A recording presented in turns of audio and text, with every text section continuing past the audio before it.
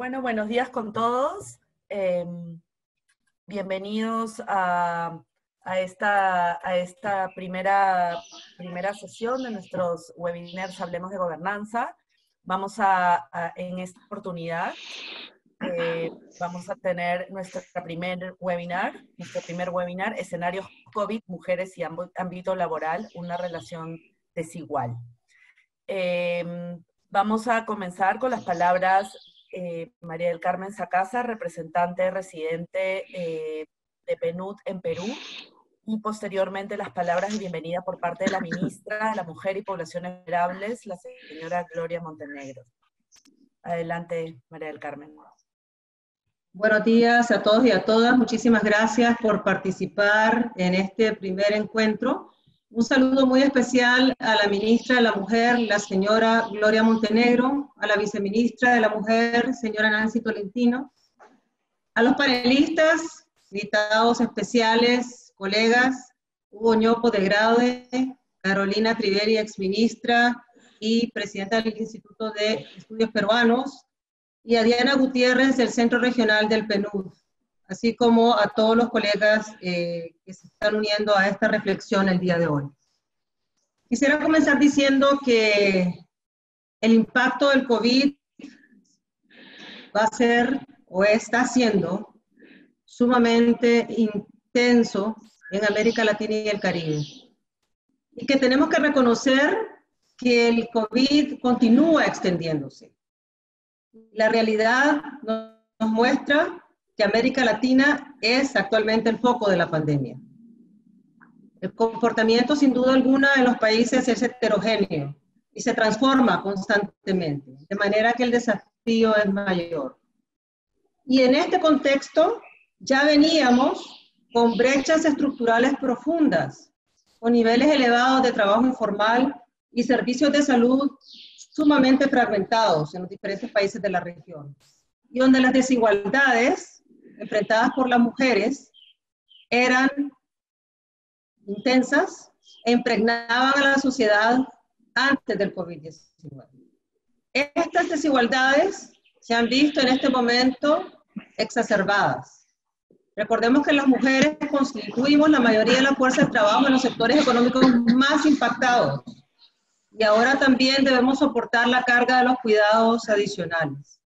Y si observamos con mayor detenimiento, también debemos de reconocer que si analizamos el impacto en las mujeres por diferentes grupos poblacionales, seguramente veremos que el impacto inclusive es mayor en mujeres indígenas, afrodescendientes, migrantes, de manera que tenemos que trabajar para que durante y posterior a la pandemia se vayan confrontando estos estereotipos sociales ya arraigados.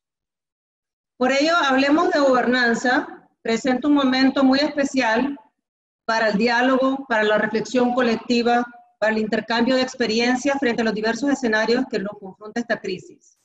No solamente para poder hablar al respecto, pero sino más bien para discutir cómo reconstruir mejor y mirar más allá de la recuperación. Y esto pasa seguramente por reforzar la gobernanza democrática, pero una gobernanza que también sea efectiva, que le dé respuesta a la población. Una gobernanza que garantice los derechos humanos, la igualdad de género y el Estado de Derecho. Y en esta primera sesión que se establece el diálogo con el Ministerio de la Mujer, poblaciones vulnerables, con GRADE, con IEP, con el PNUD, a nivel nacional y regional, para hablar sobre las mujeres en el ámbito laboral. Estamos conscientes de que la exclusión continúa y que se requiere repensar y reimaginar el modelo actual. Y esto sin duda no pasa por una respuesta pragmática o por simplemente mantener el status quo. Se requiere realmente un cambio, una transformación en el pacto social existente y en el modelo de desarrollo que han impulsado nuestros países de América Latina. Solo así podemos garantizar que nadie se quede atrás. Muchísimas gracias. Muchas gracias, María del Carmen. Y ahora eh, le paso la palabra a la señora ministra Gloria Montenegro para que dé las palabras inaugurales a esta eh, sesión de webinar sobre mujeres, el impacto del COVID en el mercado laboral de mujeres. Señora ministra, por favor. Muy buenos días con todas y todos. Un cariñoso saludo para María del Carmen, para Carolina, qué gusto verte, para Hugo Ñopo, para Miguel Jaramillo, quienes nos acompañaron en esta investigación, para Diana, Denise, para todos y cada uno de ustedes.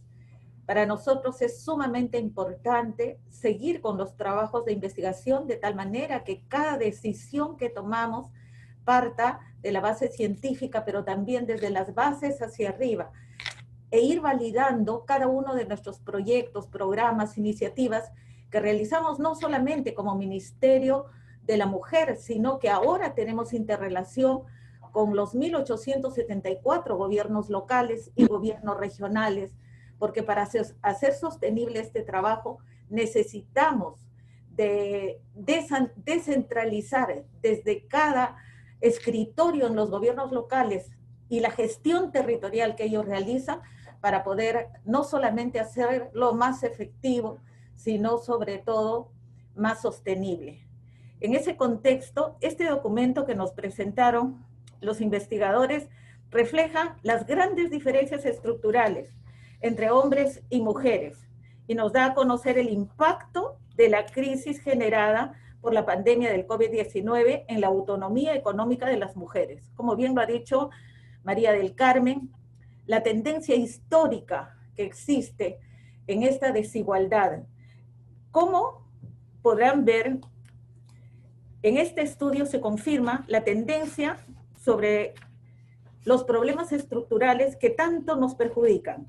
Pero consecuentemente en este contexto de emergencia por la pandemia, el impacto ha sido mucho más fuerte en las mujeres en relación al acceso al trabajo, en relación a sus emprendimientos, en relación a cómo generar autoempleo ahora que se han perdido los empleos formales.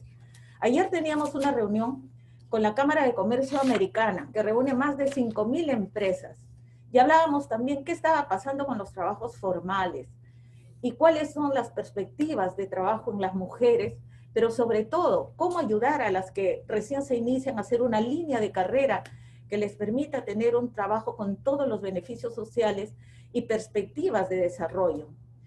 Y estábamos en una parte de análisis en donde se veía, por ejemplo, en cuántos directorios, o sea, en, las empresas top, en cuántos directorios estamos las mujeres. Y se analizaba hacia atrás y decían, ¿quiénes están en los directorios? Los que han sido CEO de grandes empresas. ¿Y quiénes eran? Hombres. Por lo tanto, ¿quiénes van a ser los directores de las empresas? E íbamos bajando en la estructura de las empresas privadas y nos dábamos cuenta que los jefes habían sido hombres y por lo tanto están buscando hombres para que promuevan. Entonces, un actor fundamental, importantísimo, son las empresas privadas para abrir las puertas y cambiar procesos y procedimientos de selección que abran también eh, oportunidades en igualdad de condiciones para las mujeres. Nosotros estamos preparando grupos, por ejemplo, Promar, nos ha preparado 50 mujeres gasfiteras. Y en esta apertura de la pandemia ninguna le falta trabajo. Entonces, iniciativas de esa naturaleza que van abriendo las puertas, pero les digo, no quiero que se queden de gasfiteras. Entonces, necesitamos promover herramientas tecnológicas para ellas. Y estamos ahorita trabajando, por ejemplo, con IBT. ¿Cómo hacemos programas para que en horas adecuadas puedan ellas aprender toda la plataforma de Internet, todo el sistema Word y todo lo, todo lo que compete a el manejo de estas herramientas para que no se queden allí, para seguir abriendo oportunidades. Pero también, por ejemplo, en esta pandemia, no ha salido el, el carrito sambuchero que vende huevitos de codorniz, no, no han salido las mujeres que venden emoliente, no han salido las mujeres que están justamente en todas las zonas, por ejemplo, en Trujillo, en las zonas de calzado y todas las ferias que hay a nivel nacional. o sea, ha golpeado fuertísimo, pero y ahora hasta que todo se reactive, qué hacer, cómo hacerlo, nosotros tenemos que ver que no solamente podemos tener casi 400 centros de emergencia mujer, sino que atender la violencia sería muy corto, quedarnos muy cortos si es que no tenemos una mirada muy seria a qué hacer para que no haya no solamente esa dependencia emocional, sino que no haya dependencia económica. Por lo tanto, ahora nuestra columna vertebral es el empoderamiento económico de la mujer en todos los niveles, en todas las regiones del país, bajo todos los sistemas que podamos aperturar y poder ver justamente que la gobernanza no solamente dé respuesta a la población, sino que esto nos permita que el Estado abra las puertas a ese cambio que se tiene que dar desde los diferentes ministerios. No podemos trabajar esto sin educación, no podemos trabajar esto sin salud, no podemos trabajar esto sin cultura. Y así podría mencionarles todo, pero mucho menos podríamos trabajar esto sin algo que es fundamental para nuestro desarrollo y es integrar a la empresa privada dentro de los socios y aliados estratégicos para ese gran cambio que buscamos como Ministerio de la Mujer y Poblaciones Vulnerables. La idea es reducir la incidencia de los patrones socioculturales discriminatorios que nos afectan. Aquí de una manera, en las zonas rurales de otra, en las zonas andinas de otra, en las zonas indígenas, acabo de llegar de la selva, de otra forma. ¿Qué hago para que esos telares de las zonas rurales o de las zonas indígenas estén en Internet? ¿Qué hago para que esos collares desde que llego y me ponen estén en Internet y sigan siendo vendidos a través de las redes? ¿Qué hacemos para que justamente esa niña que está en nuestros centros de acogida no solamente haga esos detalles de artesanía que siempre les hemos enseñado, sino que con una mirada amplia pueda tener no solamente alternativas para sobrevivir, sino para crecer y desarrollarse. Entonces, estamos tratando de cerrar en 360 grados, primero a todos nuestros stakeholders que nos van a poder ayudar en esta, en esta gran visión integradora, pero sobre todo en ustedes, que son la parte técnica, y yo tengo que agradecerle a María del Carmen, porque cada que he tocado sus puertas nos ha apoyado absolutamente en todas estas iniciativas. No hubiese podido tener toda la parte comunicacional que ha llegado en el ámbito nacional y, y por todos los medios si no hubiese sido por su apoyo. También tenemos que analizar, analizar y ver cómo reducir esas barreras institucionales para la igualdad de género. Y hemos trabajado muchísimo con las empresas públicas.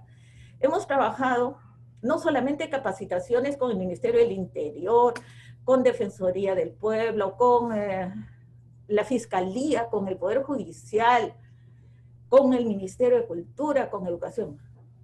Y luego dijimos, ¿y las empresas privadas? Y por ejemplo, la corporación Avon que da trabajo a 100.000 mujeres. ¿Cuáles son sus perspectivas? ¿Hacia dónde vamos? ¿Toda la vida van a estar de vendedoras? Y luego hemos entrado a la corporación Alicor, pero tuvimos una reunión sumamente alentadora con Bacus. Cómo ha ido cambiando desde una publicidad de la mujer en bikini que vende hasta cómo vende la amistad, pero también cómo vende la diversidad, el respeto a la igualdad. Pero a mí me gustaría que este Perú chelero, cada que abra una cerveza, diga en la, en la chapita, nada justifica la violencia. Podría ser. Y estoy diciéndole a cada empresa cómo nos podrían ayudar. Pero algo muy importante logramos con ellos. Nosotros ha sido tan difícil y tan costoso llegar muchas veces en hidroaviones a las fronteras sin embargo, en todo, el, en todo el país la empresa privada llega y llega de manera correcta. Entonces, ¿qué va a hacer Bacus? Va, vende, deja su cerveza, pero va a colocar nuestro, nuestro, nuestra publicidad de si conoces un caso de violencia, llama a la línea 100. Pero también decirles a ellos que ese trabajo que ellos dan a gran cantidad de, de personas de todas las edades involucre a las mujeres justamente en segmentos que no eran notoriamente para mujeres. Y así hemos visto una serie de casos con una serie de empresas que ahora nos están fortaleciendo justamente para precisar esas capacitaciones en el empoderamiento de la mujer, porque lo que viene puede ser más serio, pero también puede ser mejores oportunidades, mejores caminos, mejores líneas para abrir en la ciencia, en la tecnología, en la innovación y en, este, en estos nuevos terrenos, algo que va a ser muy fructífero para ellas. Como les decía, no queremos quedarnos en la violencia y en atender la violencia, sino cómo prevenir, cómo hacer un mundo sin agresores, cómo hacer un mundo sin violadores, pero cómo hacer una mujer totalmente libre, independiente, empoderada en todo el sentido de la palabra, pero que nunca le falten sus recursos. Así es que por eso seguimos trabajando. Muchísimas gracias a todos y cada uno de ustedes y a los investigadores que siempre nos ayudan en esto. Muchísimas gracias. Declaro inaugurado el webinar Hablemos de Gobernanza, escenario COVID, mujeres y ámbito laboral, una relación desigual. Muchísimas gracias, señora ministra. Em, y antes de darle la, por sus palabras y antes de darle la, palabra a Hugo, quiero también, eh, estoy viendo ya los, los distintos invitados que se van uniendo y quisiera darle también la bienvenida al señor Max Hernández, que veo que está, eh, que se ha unido al, al, webinar, ¿no? Secretario Técnico del Acuerdo Nacional, por ser más un espacio tan importante justamente ¿no? en el tema de, de, gobernanza efectiva, es un espacio de diálogo de los distintos actores, así que estamos muy contentos que esté participando en esta sesión. Eh, ahora le paso la palabra a eh, Hugo. Hugo eh, es PhD en Economía por la Northwestern University. Eh, tiene un máster en Economía Matemática por el Instituto de Matemática Pura Aplicada en Brasil, un grado universitario en Matemáticas por la Pontificia Universidad Católica del Perú y en Ingeniería de Sistemas por la Universidad Nacional de Ingeniería del Perú. Ha trabajado en diversas organizaciones nacionales e internacionales como la OIT, el banco, el BIC, el Ministerio de Trabajo, y actualmente es investigador principal de GRADE para temas de educación y mercados de trabajo, con especial atención a las desigualdades étnicas y de género. Bueno, te paso la palabra, Hugo.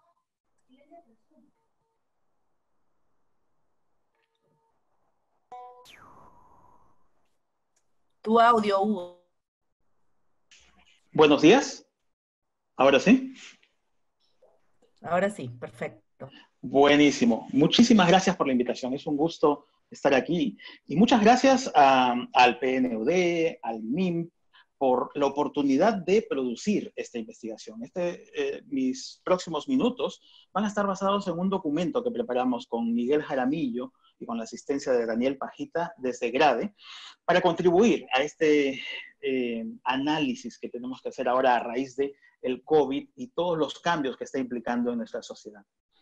Eh, comenzaré diciendo que cuando llegó el COVID a nuestras sociedades, la verdad es que ya llegaba sobre una estructura que era bastante eh, desigual, inequitativa e injusta para las mujeres. Ya veníamos señalando desde hace muchísimo tiempo algunos avances, pero todavía muchísimo camino por delante.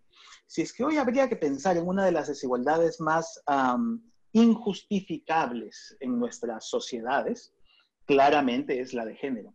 En los últimos 50 años, las mujeres han progresado muchísimo en adquisición de capital humano. Llámese escolaridad, llámese el, participación laboral femenina, pero estas mejoras en capital humano todavía están tardando en reflejarse en mejoras en los mercados de trabajo como bien nos decía la ministra. No todas las mujeres llegan a ser gerentes generales de las compañías, no todas las mujeres llegan a ser eh, miembros de los directorios, y hay todavía un camino por delante muy, muy pendiente que falta cubrir. Y entonces es en ese contexto que llega el, el COVID. Y llega el COVID, como digo, en una estructura que ya es bastante desigual, pero también en un momento en el que veníamos viendo muchísimos cambios. Hablemos del primero, el primero de los cambios que, me gustaría poner aquí. La estructura de los hogares. ¿Cómo son los hogares en nuestro país? Si nos trasladamos mentalmente al año 2000, cuando comenzaba este siglo, resulta que teníamos cerca de dos millones y medio de hogares tradicionales, vamos a llamarles. Un padre, una madre, dos o tres hijos, un, hogar estándar tradicional. En el país habían cerca de dos millones y medio de esos hogares y había poco menos de 800 mil hogares monoparentales, o sea, hogares donde solo existe o una madre o un padre. Eso al inicio de este siglo, año 2000, digo. Cuando vemos la data a hoy, a ENAJO 2019, resulta que esos dos millones eh, y medio de hogares tradicionales de fotografía, hoy tenemos la misma cantidad de hogares, los mismos dos millones y medio de hogares. Pero aquellos que eran 800 mil hogares monoparentales han crecido, han crecido notablemente y hoy también son dos millones y medio de hogares. Entonces, hoy ya tenemos tantos hogares monoparentales como hogares estos a los que estoy llamando de fotografía, tradicionales, estándares, dos padres, o sea, un padre, una madre, dos o tres hijos. Este es un cambio bien importante, bien importante en la estructura de nuestros hogares, pero que marca unas pautas también importantísimas respecto de lo que pasa en los mercados de trabajo. Porque en estos hogares monoparentales, la disponibilidad para salir a trabajar es limitada, es mucho más limitada que en los hogares biparentales. Me falta todavía agregar que dentro de ese universo de hogares monoparentales, dos tercios son de jefatura femenina. El otro tercio ya es de, jefatura masculina. Pero entonces la gran mayoría de hogares monoparentales, que son la gran, el, gran, eh, eh, la gran fuerza del nuevo país que está surgiendo, son de jefatura femenina y no tienen toda la disponibilidad que podemos pensar en los hogares tradicionales para participar de los mercados de trabajo. Eso ya marca una, una, pauta bien importante y es por eso también que un porcentaje bastante alto de mujeres que participan en los mercados de trabajo participan a tiempo parcial. Participan a tiempo parcial precisamente por eso. Otro punto que está marcando la pauta en la conformación de nuestros hogares, cómo somos los peruanos, tiene que ver con la fecundidad. La fecundidad claramente ha caído en los últimos años, ha caído muchísimo, pero todavía es el caso que la presencia de hijos menores en los hogares implica restricciones importantes a la participación laboral femenina. Y así como implica restricciones a la participación laboral femenina, implica también aumentos en la participación laboral masculina. Cada vez que llega un hijo a un hogar, el hombre sale a trabajar, a ganar eh, dinero fuera del hogar, en un mercado de trabajo, y es la mujer la que se queda. Estas especializaciones del hombre al trabajo, la mujer a la casa, se acentúan y se marcan conforme entran más hijos al hogar. Esto es algo que evidenciamos muy, muy claramente en el estudio y está ahí marcado. Y entonces, noten cómo es que hay unos vasos comunicantes bien importantes entre lo que sucede en el mundo del trabajo y lo que sucede en nuestros hogares, al interior de nuestros hogares, detrás de las puertas de nuestras casas, donde también se gesta parte importante de la inequidad y como, como se decía también en las palabras introductorias, lamentablemente también ahí es donde sucede parte de esa inaceptable violencia de género. Otras características de la participación femenina en el mercado de trabajo, como ya les venía adelantando, tiene que ver con esa participación a tiempo parcial. Las mujeres participan en una gran medida, mucho más que los hombres, a tiempo parcial. Y por lo que les acabo de contar hace poco, probablemente esa mayor participación a tiempo parcial no sea una elección libre, es una elección restringida, restringida por esas condiciones que suceden al interior de los hogares. Esto también viene de la mano con una mayor informalidad, mayor trabajo en firmas pequeñas que son de productividad más baja, lo que después implica menores salarios, menores posibilidades de ascensos. Eh, también en una medida importante, las mujeres tienden a ser menos emprendedoras, tienden a ser menos empresarias. Y cuando tienen emprendimientos, sus, las rentabilidades de sus negocios son menores que las de los hombres por un par de razones, por lo menos. Dos, una, la menor disponibilidad de tiempo para trabajar, como comentaba antes, y otra, que para las mujeres es más común no desligar la actividad empresarial, la actividad eh, lucrativa empresarial de sus hogares y entonces muchas veces transfieren recursos conforme van teniendo ganancias en sus negocios hacia sus hogares, disminuyendo la posibilidad de rentabilizar sus emprendimientos. Entonces, por, por ahí algunas, algunas de las pinceladas estructurales de lo que está pasando en nuestros hogares y cómo es que esto que está pasando en nuestros hogares tiene implicancias en los mercados de trabajo, la posibilidad de trabajar, la posibilidad de ascender. Otra que es importante, ya en general, no solamente para los hogares monoparentales, sino para todos los hogares, es que al interior de nuestros hogares el reparto de tareas domésticas es bastante inequitativo.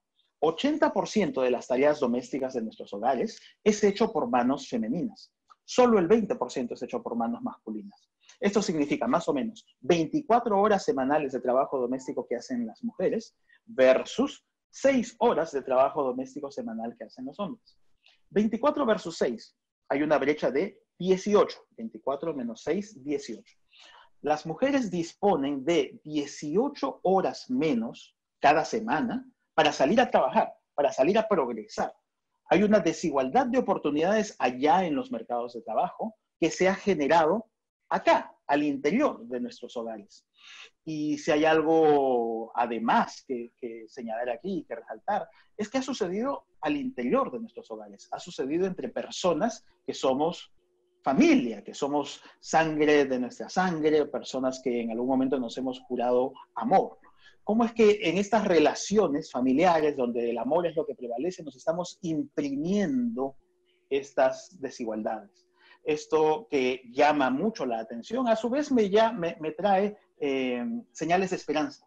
Señales de esperanza porque la posibilidad del cambio al interior de los hogares nos es cotidiana y nos es inmediata y si queremos trabajar en pos de la equidad, comencemos haciéndolo con esas personas a las que amamos, esas personas de nuestra familia. Entonces, eh, un punto de partida importante para trabajar por la equidad tiene que ver con esto, con el construir la equidad en el día a día desde nuestros hogares. Pero volvamos a los mercados de trabajo. Y lo que ya les mencionaba, mucho más trabajo a tiempo parcial, mucho más trabajo también independiente de manos femeninas, mucho más trabajo en los sectores de comercio y servicios, que son precisamente los sectores que más han sido golpeados en, esta, en esta pandemia. Lo estamos viendo en las noticias, lo estamos viendo en el día a día. Son actividades que, por la misma casi definición, vamos a decir, de ser empleos informales, son empleos cuya operatividad sucede en, en el cara a cara, en el día a día, en la interacción humano con humano que es precisamente lo que ha venido a, disruptivamente el, COVID a, traernos a, nuestras relaciones. Entonces, comprenderán que esos empleos en gran medida han sido eh, suspendidos en algún momento, independientemente de que existe una relación laboral. Y esta también es una característica importante. Muchas de las mujeres en estos casos no han perdido empleos. No han perdido empleos porque al ser ellas independientes, no había un empleador que las despida, no había alguien que les diga, bueno, aquí terminó la relación laboral o aquí entramos en una suspensión perfecta. No ha habido nada de eso. Los empleos no se han eh, extinguido. Y con la misma moneda viene de que apenas exista la normalidad, estas personas podrán salir a trabajar. Entonces, si miramos estadísticas de empleo-desempleo, estas personas no han caído en el desempleo y no van a estar en el desempleo futuro, muy probablemente tampoco. Pero lo que preocupa es cuánto pueden estas personas generar de ingresos en el día a día. Prepandemia, resulta que de todas las trabajadoras independientes, cuatro quintos, 80%, podía llevar a casa una remuneración mínima vital o menos o menos, menos de una remuneración mínima vital. Cuatro de cada cinco mujeres que trabajan independientemente. Entonces, noten cómo es que ese trabajo independiente ya era tan precario. Sin necesidad de estar en el desempleo, como les contaba, salen a trabajar, pero generan muy poco ingreso para sus hogares. Entonces, lo que ahora cabe preguntarse post-COVID es cómo serán esos empleos. En el documento que, se ha anunciado, nosotros hacemos unas estimaciones de cuánto empleo se ha perdido por las medidas de confinamiento en la fase 1, en la fase 2. Encontramos que es un golpe enorme para todo el mercado de trabajo, tanto para hombres como para mujeres. Pero hay segmentos de los mercados de trabajo femeninos, hay algunas interseccionalidades, para las cuales el golpe es aún más fuerte. Las mujeres indígenas, las mujeres afrodescendientes y las mujeres pobres están teniendo un golpe que es más severo que el promedio de las mujeres en este país. Y entonces ahí es donde hay que prestar atención. Eh, el estudio se terminó hace unas semanas, entonces pudimos analizar la fase 1 y la fase 2 del confinamiento, pero de aquí en adelante lo que viene ya es una vuelta a una nueva normalidad, donde las restricciones al empleo masculino y femenino ya se van a eh, aliviar o van a desaparecer, pero comenzarán a existir otro tipo de equilibrios. Vamos a preguntarnos ¿Qué pasa entonces con los arreglos al interior de los hogares? La distribución de tareas, las horas, la disponibilidad de horas que van a tener hombres y mujeres para salir a trabajar. Alguna evidencia internacional ya nos dice que lamentablemente este reparto inequitativo de tareas domésticas, si es que algo ha sucedido durante la pandemia, es que se ha exacerbado las diferencias ahora se hacen más dramáticas. Aún no existe data para el Perú respecto de eso. Algunas evidencias tempranas que ha levantado Genderlab, por ejemplo, sí nos dice algo, nos da algunas ideas de que lamentablemente esto se ha exacerbado. Hay que monitorear cercanamente porque esto va a profundizar algunas de las diferencias en los mercados de, trabajo hacia futuro. Eh, son múltiples las son múltiples los elementos en los que hay que ir pensando para generar equidad, para generar equidad en esta dimensión que, como digo, es una de las claramente injustificables en una sociedad como la que tenemos hoy en día. Si es que se puede poner un argumento macroeconómico aquí, vale la pena decir que somos una sociedad que forma tanto hombres como mujeres en términos de capital humano por igual. Si hoy vamos a un campus universitario, vamos a encontrar tantos hombres como mujeres en los campus universitarios. Si es que algo sucede, vamos a encontrar un poquitito más de mujeres. Las mujeres son 52, 53% de los estudiantes universitarios. Formamos más mujeres que hombres, pero después en los mercados de trabajo hacemos uso exactamente de la forma inversa usamos muchísimo más el capital humano masculino y dejamos de usar el capital humano femenino. Simplemente por un argumento de macroeconomía y de uso de los recursos, estamos siendo poco inteligentes en utilizar el recurso humano, el recurso más importante de nuestro país. Tengamos eso en nuestros radares de cara al futuro.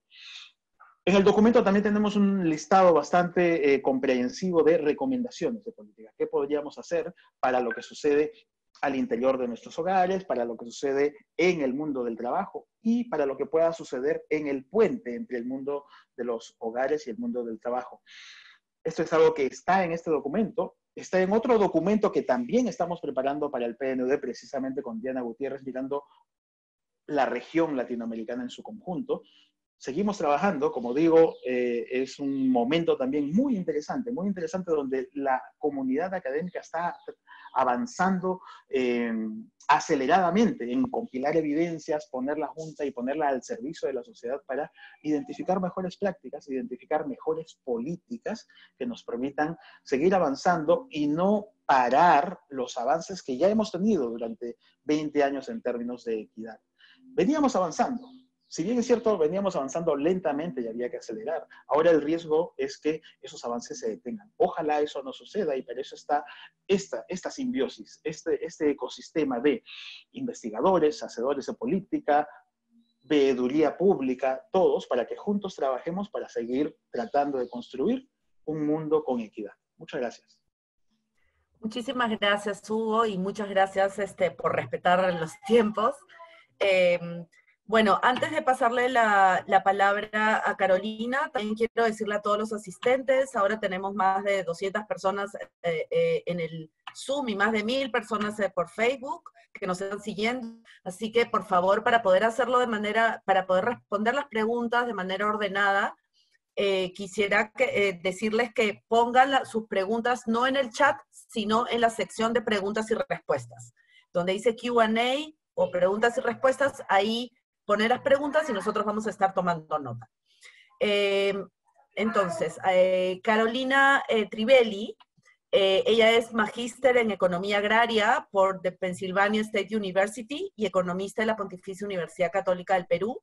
Así, ministra de Desarrollo e Inclusión Social, es miembro del directorio de diversas asociaciones civiles a nivel nacional e internacional y actualmente es investigadora principal del Instituto de Estudios Peruanos IEP y consultora para diversos organismos internacionales. Entonces, sin más, Carolina, te doy la palabra. Muchas gracias. Gracias, Denise. Gracias al, PNUD y al Ministerio de la Mujer y Poblaciones Vulnerables por la oportunidad de, compartir unos comentarios con ustedes sobre, sobre el estudio que, ha preparado Hugo y, Miguel. Eh, este es un tema fundamental, ¿no? Como dice Hugo, estamos, tenemos un, desperdicio de recursos en nuestro país enorme al eh, limitar las posibilidades de que las mujeres desarrollen todo su potencial como decía la ministra, eh, las mujeres eh, requieren un, compromiso de toda la sociedad para lograr su eh, plena autonomía, autonomía económica, autonomía social, posibilidad de hacer y de realizar todo aquello que se propongan en igualdad de condiciones. Creo que en esa tarea debemos comprometernos todos y necesitamos para eso cambiar prácticas, como dice Hugo, a nivel doméstico, a nivel colectivo de la sociedad. Y, aparece de pronto en un proceso en el que veníamos eh, viendo mejoras lentas, pero mejoras, eh, aparece este evento que trastoca todo y vemos un riesgo eh, importante de que no solamente se detengan las mejoras, sino que hayan fuerzas que nos, nos jueguen en contra para continuar con este proceso de cierre de brechas en, los, en las posibilidades de lograr autonomía para eh, las mujeres y eh, equidad. Eh, yo quisiera agregar algunos temas comentando algunas de las cosas que ha resaltado Hugo que me parecen importantes. Lo primero, sobre, el, rol de las mujeres y los hogares monoparentales. uno de los principales desafíos que nos pone la pandemia es cómo ayudar a las mujeres de esos hogares monoparentales a poder continuar teniendo una actividad económica generadora de ingresos de manera, eh, digamos, en el tiempo y la magnitud del esfuerzo que puedan tenerlo, dado que las tareas de cuidado ahora se han eh, alterado. Los niños no van a la escuela, la familia extendida no puede ayudarnos a eh, cuidar a, los niños pequeños, el rol de las abuelas y los abuelos ha cambiado debido a las restricciones que enfrentan eh, estos grupos por ser vulnerables particularmente a esta, a esta enfermedad, pero además hemos perdido mucho de eh, lo ganado eh, en términos de soporte comunitario. En, en otros momentos de crisis es el esfuerzo comunitario lo que ha permitido a muchas mujeres enfrentar estos, estos choques en, una, en la crisis económica, en momentos de, donde había mucha violencia eh, en nuestro país, es la comunidad la que ha sido el soporte de eh, las mujeres. Hoy día la comunidad también está enfrentando restricciones para hacer ese soporte, porque hay distanciamiento social, porque hay miedo, porque hay un conjunto de eh, limitaciones para que la comunidad pueda contribuir. Y creo que es ahí donde tenemos que generar mucha creatividad para encontrar mecanismos que permitan a las mujeres tener eh, esquemas de soporte privados, públicos, comunitarios, con distanciamiento social o familiares en, el nuevo contexto que sí les permitan, eh, sobre todo a las mujeres de hogares monoparentales, poder continuar teniendo una vida laboral eh, activa eh, y generadora de ingresos, ¿no? Si no, ahí vamos a ver un, retroceso y vamos a generar una presión hacia un mayor empobrecimiento, en particular de estos hogares monoparentales de los cuales Hugo ha, hablado.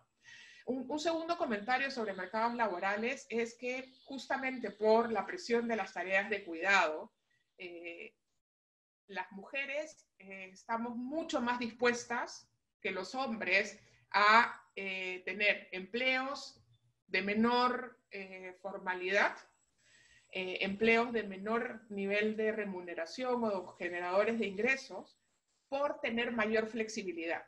¿No? Y esto es un tema que debemos poner en discusión, sobre todo cuando volvamos a mirar cómo apostar por la generación de empleos formales.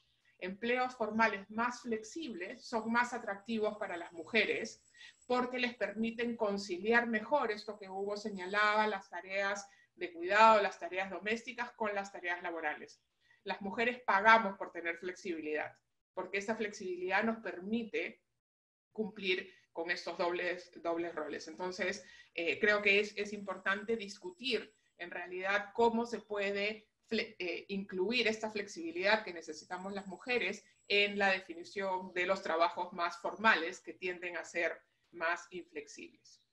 Eh, y, una de las respuestas que han adoptado millones de mujeres en, el Perú ante las rigideces y las, la, pequeña escala de las oportunidades de empleo en el sector formal es emprender, como decía Hugo. Pero como bien decía Hugo, las mujeres eh, eh, generan emprendimientos de menor rentabilidad porque eh, tienen algunas restricciones distintas a las que enfrentan los varones y se juntan un conjunto de exclusiones que les impiden hacer más rentables sus emprendimientos. No solamente discriminación, no solamente menor tiempo disponible para dedicarse al emprendimiento, no solamente eh, menores servicios para ese emprendimiento, pero en particular menor acceso al capital. Y es que en el Perú todavía las mujeres enfrentan una brecha significativa en el acceso, por ejemplo, a servicios financieros. ¿no? no solamente es porque tienen menos acceso a los productos formales, sino porque tienden a ser evaluadas con un estándar que no es el que les corresponde. Hay un conjunto de evidencia a nivel regional que ha encontrado cómo cuando las eh, entidades financieras usan eh, metodologías para evaluar el potencial crediticio de hombres y mujeres separándolos, no, no usando las mismas reglas para ambos, terminan ofreciéndoles más crédito a las mujeres. Las mujeres tienden a ser mejores pagadoras, las mujeres tienden eh, a dejar incluso algo más de recursos en sus cuentas, entonces parecen clientes más rentables para el sector financiero. A pesar de ello, son mucho menos atendidas. Tenemos que trabajar fuertemente en lograr procesos de inclusión financiera, de mejor eh, atención a las demandas financieras, no solamente crédito, ahorros, seguros, pensiones, recursos para invertir, para capacitarse, como decía eh, la ministra María del Carmen, para lograr que los emprendimientos de las mujeres tengan una mayor rentabilidad, porque ahí hay una parte fundamental de eh, la autonomía económica de estas mujeres, dadas las condiciones actuales del mercado laboral. Ojalá estas vayan cambiando, pero en el interín sigue siendo una oportunidad que debemos potenciar. Eh, y quisiera terminar con, una mención a, a, lo que Hugo decía. Hay grupos de mujeres que además de todos los problemas que el común de las mujeres vamos a enfrentar por esta, por esta pandemia en cuanto a nuestras posibilidades de salir a trabajar, de emprender, de retomar nuestras actividades generadoras de ingreso, eh, tiene que ver con eh, quiénes son esos grupos eh, duramente afectados. Hugo mencionaba mujeres con ascendencia indígena o afrodescendientes, mujeres en situación de pobreza, y aquí hay dos grupos sobre los que yo quisiera llamar la atención. Uno, el caso de eh, mujeres en situación de pobreza eh, y el rol que tienen los esquemas de protección social para trabajar con esas mujeres. No se trata solamente de asegurar que reciban eh, el programa juntos o una transferencia, sino que el conjunto de servicios que el Estado puede brindarles a través de los programas sociales tiene que conformar un paquete pensado en las necesidades de las mujeres. ¿no? Programas como eh, CUNAMás, por ejemplo, que eh, contribuyen al desarrollo infantil temprano, eh, hoy día tienen que reinventarse porque los niños no pueden ir a la guardería en caso de servicios de cuidado diurno, pero en el caso de las mujeres rurales que recibían estas visitas de personal del programa CUNAMás para ayudarlas a mejorar sus prácticas de crianza, ¿no? Eh, hoy día tampoco están presentes. ¿no? Entonces, necesitamos que haya una reconversión y necesitamos que el paquete de programas sociales, el paquete de protección social para las mujeres en situación de pobreza, sea un paquete, no sean dos o tres programas sueltos que llegan para eh, contribuir a enfrentar esta situación difícil. Eh, y lo segundo tiene que ver con eh, donde se ubican el grueso de las mujeres con ascendencia indígena, probablemente, y es con la ruralidad. ¿no? El mundo rural es un mundo donde el rol de la mujer también ha cambiado, es probablemente el, segmento eh, de mujeres que más ha visto incrementado en términos relativos su capital humano. Las mujeres rurales, en particular las jóvenes de hoy, son totalmente distintas a sus madres y sus abuelas, en tanto han ido a la escuela, tienen, eh, han tenido mucha interacción, tienen un teléfono, han viajado, eh, muchas de ellas están postergando su, eh, la edad de su matrimonio, de su primer hijo, y a pesar de ello, el mercado laboral en el mundo rural la sigue tratando exactamente como trató a sus madres y a sus abuelas, esperando que sean trabajadores familiares no remunerados eh, durante la mayor parte de su vida laboral. Y ahí tenemos un problema de eh, donde se ve esta situación de mayor desperdicio, como decía Hugo, ¿no? Hemos invertido mucho, estas chicas están llenas de ideas para hacer actividades rurales productivas, generadoras de ingreso, pero su entorno las sigue encasillando en los roles tradicionales de trabajo familiar no remunerado, de cuidado de la casa, de cuidado de los pequeños atos ganaderos. Y ahí tenemos que realmente construir una política eh, para permitir que estas jóvenes rurales pongan en valor todo lo que tienen en, eh, ya ganado, ¿no? Y no eh, generar una frustración enorme que tienen muchas de estas jóvenes rurales eh, en, su, en su entorno eh, de vida. Eh, lo dejaría ahí y muchas gracias y, creo que debería ser un compromiso de todos que esta nueva normalidad no sea la vieja normalidad, que sea una nueva normalidad que le abra más y mejores oportunidades a todas las mujeres. Muchas gracias. Muchísimas gracias, Carolina. Em, y veo que hay bastantes preguntas, entonces voy a pasar rápidamente a nuestra siguiente comentarista, a, Diana Gutiérrez. ¿no? Diana es eh, magíster en reducción de la pobreza y gestión del desarrollo perdón, eh, gestión del, del, desarrollo de la Universidad de Birmingham en Inglaterra, es especialista en cooperación internacional y gestión de proyectos para el desarrollo y ha trabajado para el PNUD Colombia como coordinadora nacional del proyecto de desarrollo económico incluyente, en la FAO como experta en la formulación de proyectos y finanzas en el diseño e implementación del Observatorio Nacional de Seguridad Alimentaria y como asesora económica del sistema de monitoreo y evaluación de programas de desarrollo alternativo en zonas afectadas por el conflicto en UNODC. Actualmente es gerente del programa Empresas para la Igualdad de Género del PNUD Global. Adelante, Diana.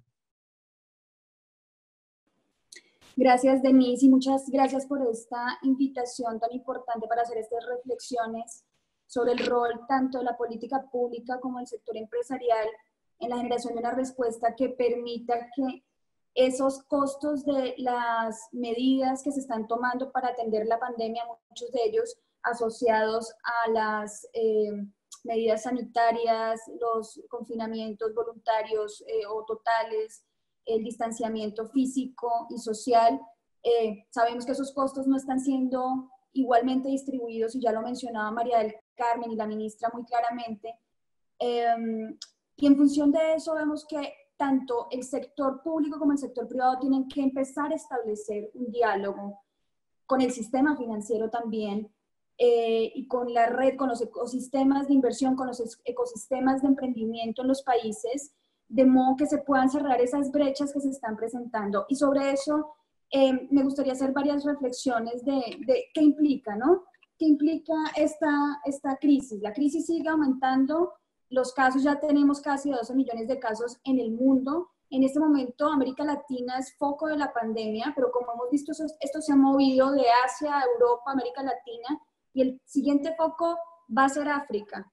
Y en función de eso, los impactos que ha generado la crisis, particularmente sobre los segmentos más vulnerables, trabajadores informales, los trabajadores domésticas, las mujeres en particular, las personas mayores de edad, eh, y quienes son propietarios, por ejemplo, de pequeñas y medianas empresas, eh, son, digamos, impactos diferenciados y quizás más profundos. Y en la estructura del mercado laboral de países como el nuestro, como los nuestros, ya eh, cuando Hugo lo mencionaba, pues digamos que los impactos son muy profundos y eso nos lleva a la reflexión de una gran necesidad de establecer unas medidas de política de manejo de esta crisis que consideren, por supuesto, la variable de salud, pero adicionalmente la variable económica, eh, porque claramente estamos eh, experimentando cambios que nos llevan a pensar a que las proyecciones son muy negativas, el crecimiento va a estar por debajo del casi cercano al 2%, por lo menos en la región, y también ya hay perspectivas, digamos, negativas de crecimiento en varias de las regiones grandes de los compradores de América Latina, la China, Estados Unidos, el mercado europeo, todos son mercados que van a decrecer y esto claramente tiene un efecto bola de nieve por la disrupción de las cadenas de suministro. Y lo que estamos viendo es que el grado de afectación que hay eh, se ha sentido prácticamente en todos los sectores, fundamentalmente en los que están, eh, digamos, más ligados a eh, toda la industria aeroespacial, por supuesto, porque están cerradas las fronteras en la mayoría de los países. gas y, y, petróleo, por supuesto, hemos visto una caída masiva de los precios pero adicionalmente el sector financiero y de ahí en adelante hasta que llegamos al retail y esos impactos, digamos, que han ido aumentando de manera progresiva en función de la eh, cantidad de tiempo que han durado las cuarentenas. Solo para darles un ejemplo, acá en Panamá llevamos cuatro meses en cuarentenas totales. Tenemos siete bloques de apertura económica y vamos por el segundo bloque. Ningún comercio está operando en este momento, la industria ya está operando alimentos, las industrias esenciales, pero ¿dónde está concentrada la mayoría de las empresas y de las empresas que son propiedad de mujeres?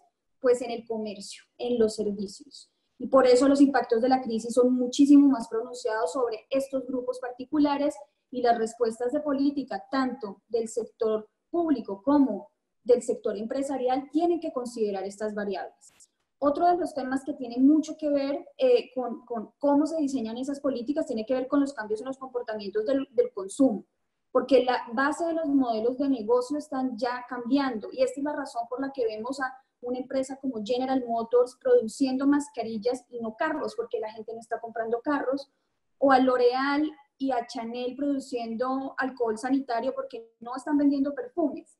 Y esto digamos que también lo estamos viendo de manera extendida en otras industrias, particularmente las pequeñas y medianas empresas han tenido que recurrir sobre todo a medios como Instagram o WhatsApp para poder llegar y generar nuevos canales comerciales. La industria de alimentos, que digamos fue de las que pudo seguir operando, muchas de esos restaurantes no tenían esquemas de, delivery de, de, de sus pedidos, entonces han tenido que hacer estas adaptaciones. Esto está pasando en el mundo empresarial y lo que nos hace pensar, y es que esto como va a ser una crisis prolongada en la que vamos a tener focos expansivos y las cuarentenas van a ir, vamos a pasar casi como entre cuarentenas totales y cuarentenas focalizadas en función de los, de los casos. Esto va a ser, se estima, más o menos alrededor de unos dos años, hasta el 2022 vamos a estar experimentando eso, por tanto los cambios van a ser diferentes en todos los países.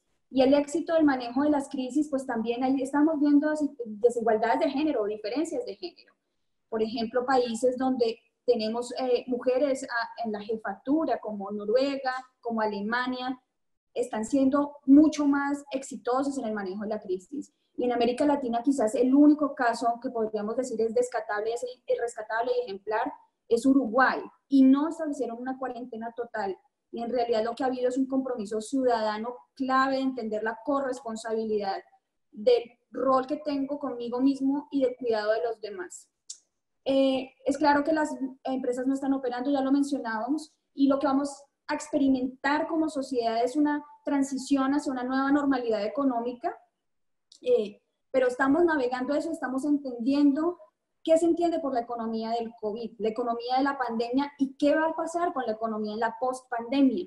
Y eso va a darle forma al futuro.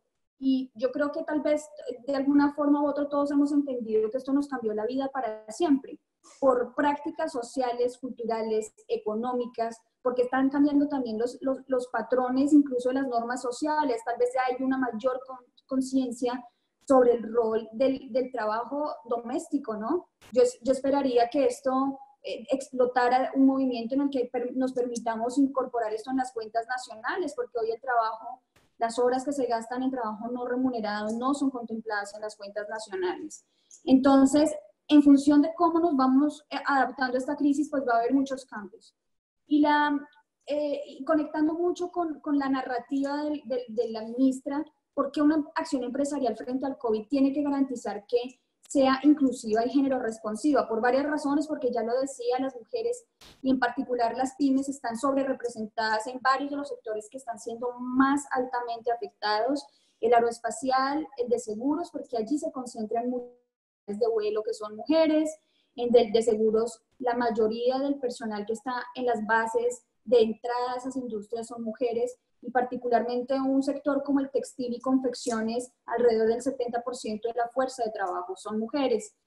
Y eso por un lado. Por el otro, la estructura productiva de nuestra matriz está representada casi en un 100% en algunos países o del 95 o un poco más del 90 por empresas pequeñas y medianas, quienes generan alrededor del 50 del 60% del valor agregado y quienes generan el mayor empleo. Las grandes empresas en países como los nuestros no son las grandes generadoras de empleo. Por eso es urgente protegerlas, por eso es un imposible económico mantener las cuarentenas de manera prolongada, porque hay que entender la estructura financiera que tienen estas empresas y las dificultades que enfrentan en materia de liquidez para resolver sus necesidades. Entonces, esto también nos lleva a la reflexión de entender qué está pasando con las pymes, porque está generándose una crisis tan profunda y vemos algunas señales que nos permiten entender qué, a qué, cómo podría lucir esa economía de la pospandemia y, y qué tipo de impacto puede esto generar en las pymes. Por ejemplo, en la China, alrededor de un tercio de las empresas no estaba operando en febrero. Ellas volvieron más o menos a operar alrededor de marzo, el 60% más o menos, y todas, sin excepción, argumentaban que estaban enfrentando demasiados desafíos porque hay unas restricciones de mercado, porque hay una disminución clave en la demanda.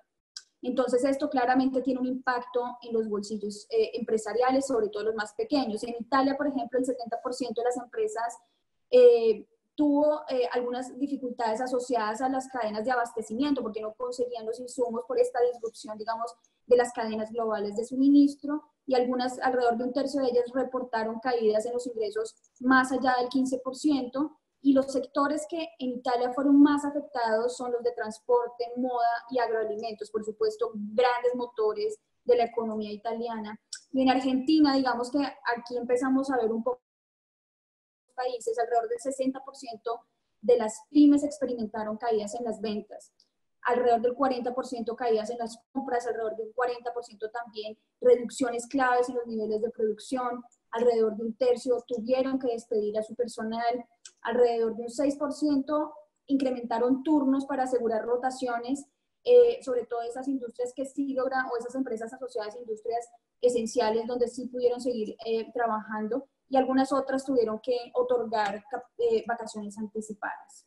De, estas, de esta suerte, mi reflexión va que es necesario en el marco de la política pública entender que una vez más, no podemos tener cuarentenas de cuatro meses, tres meses o más cuando el colchón de caja de una pequeña empresa no va más allá de un mes. En promedio son 27 días y allí también si hacemos, eh, digamos, lupa en algunos de los sectores, pues tenemos sectores como el de restaurantes donde la caja es de 16 días. ¿Esto qué quiere decir? Que si no tengo ingresos, pero sigo cubriendo los costos fijos de arriendo, de nómina, de gastos de contribución social o impositivos, y no tengo ventas, pues entonces empieza a, descapitalizarse la empresa porque tiene que hacer uso de sus activos, digamos, más líquidos. Diana, eh, mil disculpas, eh, no quiero interrumpirte, pero ya estamos con el tiempo justo. Ya. Para que por favor sí. Perfecto. No, solamente dos reflexiones. Uno, que nos está cambiando claramente el mundo del trabajo,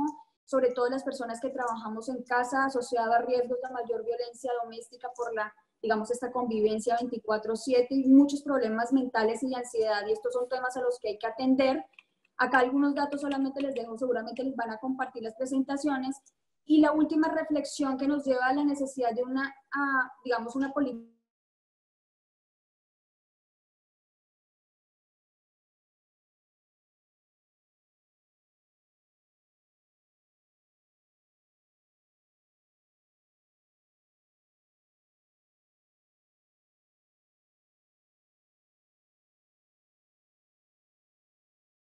proteger a las, digamos, a esos segmentos más débiles eh, de las cadenas y también a generar una nueva, digamos, ola de negocios mucho más conscientes donde se genere rentabilidad social, eh, ambiental, pero por supuesto con retorno financiero de modo que haya sostenibilidad. Y a eso es a lo que el PNUD está apostando, apoyar al sector empresarial, apoyar ese, esa, esa, esa, ese diálogo y también apoyamos a los países en la transición, en lo que van a hacer esos, esos, digamos, elementos que van a dar forma a la economía del futuro, como por ejemplo la disrupción digital, la economía verde y cómo garantizamos que en esa nueva reconstrucción construimos un mundo mejor y aseguramos que a nadie se deje atrás, particularmente a las mujeres. Muchas gracias. Muchas gracias, Diana. Y este, por, por temas de tiempo, además, eh, voy a pasar eh, rápidamente, si les parece, a las preguntas. Ya no voy a hacer ningún comentario al respecto, aunque además por sentirme aludida también tengo, me encantaría hacer un montón de comentarios, este, la carga laboral y un montón de cosas en la casa, fuera de la casa. En fin, este, bueno, entonces, paso rápidamente a algunas preguntas. Ya voy a hacer primero un par de preguntas para todos los panelistas, ¿no? Em, y eh, después unas preguntas eh, tanto para el, el, MIM como para eh, los demás panelistas de manera particular. Entonces, para los distintos panelistas, hay una pregunta que habla sobre si la legislación peruana, al querer proteger la maternidad, no está aligerando al hombre sus responsabilidades de paternidad. Por ejemplo, las licencias postnatales para el hombre tan cortas dejan a la mujer con toda la carga del recién nacido y con alta probabilidad de no retorno al trabajo. ¿No? Esa es una pregunta.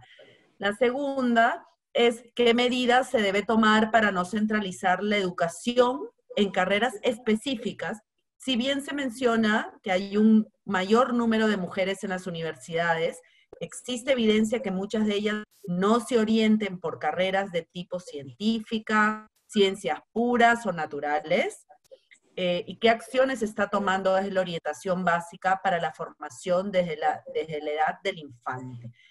Entonces, eh, voy a hacer de una vez, creo, no sé si les parece, las preguntas, preguntas para cada uno, para que después cada uno pueda, pueda abordar las que les parezca, las que les dé el tiempo y les parezca conveniente eh, responder.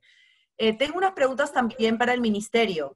Em, eh, la, mm, ministra ha resaltado la importancia sobre priorizar a nivel nacional el empoderamiento económico de la mujer por otro lado, ¿cuál será el trabajo por la igualdad de género con los hombres?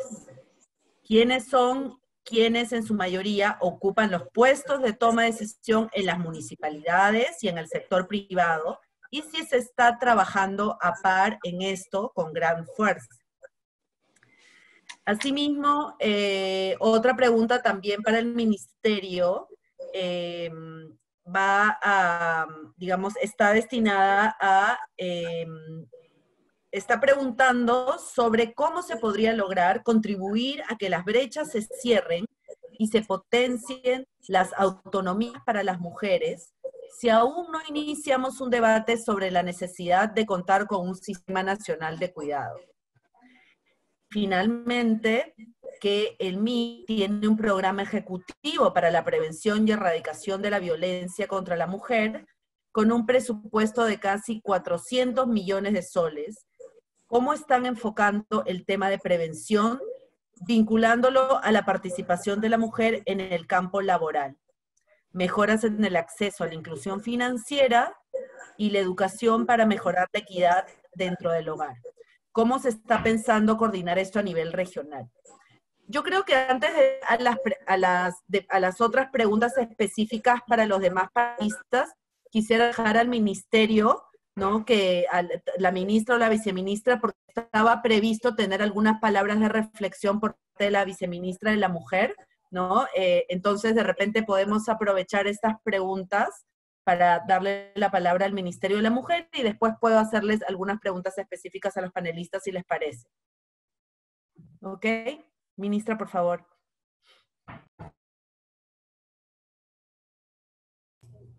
O viceministra. Bien, en, el, en la pregunta de cuál será el trabajo por la igualdad de género y el trabajo con las municipalidades cuando prácticamente está eh, en el 90% o más liderado por hombres. Eso vamos a tener que relacionarlos con todo el trabajo que estamos haciendo para el empoderamiento político de la mujer. ¿Por qué?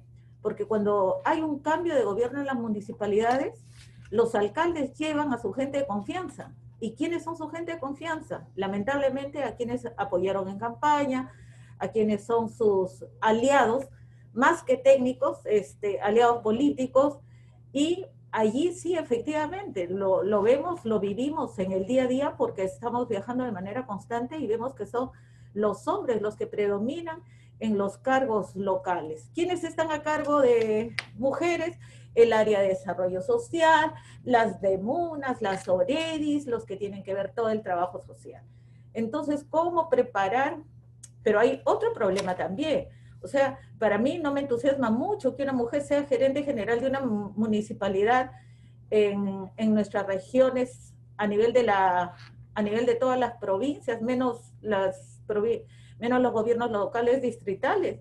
Los sueldos son bajísimos, ¿no? Entonces, este, considero que ahí se tiene que ver desde otra perspectiva.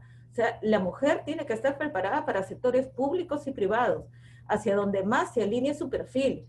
Pero las convocatorias, y a eso vamos, y en eso sí estamos trabajando con la empresa pública y privada, de el hecho de la preparación es un factor, pero también las chicas que recién salen de la universidad y que tienen todas las expectativas de entrar a, estos cargos, a estos puestos, no son consideradas. O sea, se habla de meritocracia, se habla de concursos, pero a la vez, al final, cuando vemos los resultados, a nivel nacional nos podemos dar cuenta que siempre hay una preferencia por los hombres. ¿Por qué? Porque en las entrevistas te siguen preguntando si eres soltera, si eres casada, cuántos hijos tienes, si estás embarazada, no estás embarazada o cuántos hijos piensas tener. Y eso lamentablemente sigue siendo muy duro. ¿Qué estamos haciendo? Trabajando políticas públicas, ordenanzas con gobiernos locales. No es suficiente, o sea, se tiene que generar, o sea, deconstruir toda esta, toda esta gama de, de una estructura desigual que hemos vivido es en provincias mucho más dura que, en la capital. ¿Cómo lograr cerrar brechas para que la autonomía de las mujeres eh, permita un sistema de cuidados? Se está trabajando ya, acá está Nancy Tolentino, para que este, les comente qué estamos trabajando en el, el, sistema de cuidado. María Pía, creo que tú lo tienes. Sí. Este tú Así es, ministro. Eh, actualmente nosotros ya venimos realizando la primera propuesta de un sistema de cuidado que está a cargo de la Dirección de Igualdad de Género y No Discriminación. Esta propuesta ya ha sido socializada con, con ambos viceministerios y con todas las direcciones generales que tienen a su cargo. La idea acá no solamente es partir por generar una propuesta sino también por tener una política sobre el sistema de cuidado.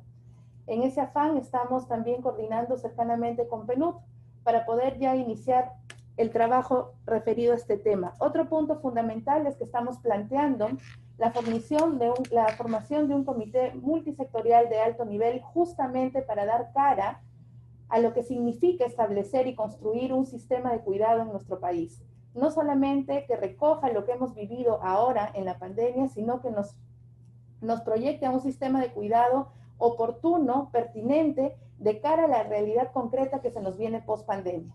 En ese sentido, ya contamos con un documento de avance que está siendo socializado y estamos eh, prontos a formular el, comité multisectorial de alto nivel y también ya estamos en coordinación directa con PNUD para ver cómo avanzamos en este camino.